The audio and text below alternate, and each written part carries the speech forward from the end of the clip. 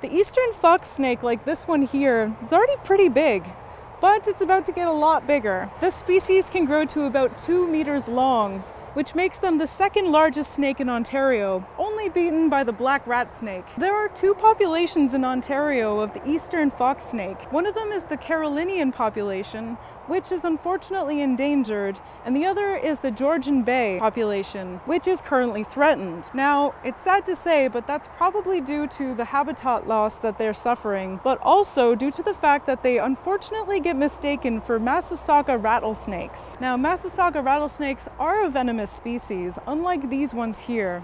These here really pose no threat whatsoever to humans as they don't have any venom. As you can see, it's pretty friendly, just likes, you know, giving me a little hug with all his muscles. He, he's fine.